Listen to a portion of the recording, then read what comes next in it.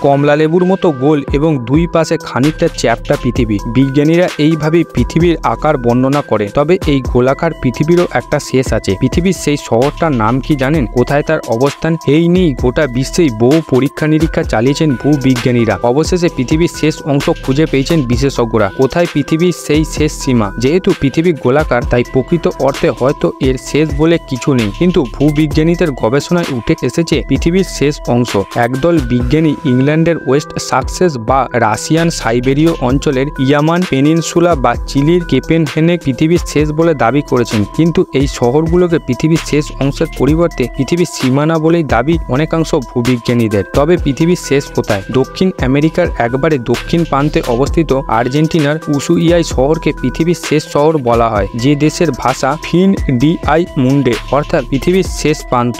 Andes পাহাড়ের মাঝে এই শহরের নাম টিয়েরা দেল কুয়াগো বা আগুনের শহর। উত্তরে ম্যাজেনাল প্রণালী এবং দক্ষিণে বিগল চ্যানেল দুই মহাসাগরকে যুক্ত করেছে। বিখ্যাত পর্তুগিজ আবিষ্কারক ম্যাজেনাল ই টিয়েরা দেল উয়াগো নাম দেন। এখন এই দেশে শুধু ইউরোপীয়দের বাস। পৃথিবীর শেষ প্রান্তে যেতে আগে প্রায় দুই বছর সময় লাগত। এখন মাত্র দুই দিনই আমেরিকা থেকে উসুইয়ায় পৌঁছানো যায়। রাজধানী বুয়েন্স এয়ার্স থেকে পাসপানো পাতাগোনিয়া পেরিয়ে ঘণ্টা পাঁচেক ফ্লাই উসুইয়াই শহরের চারিদিকে দুর্গম পাহাড়, উত্তাল সমুদ্র।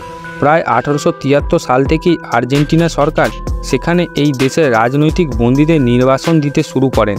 তবে নানা বিতর্কের পর উনিশশো সাতচল্লিশ সালে এই প্রথা বন্ধ হয়।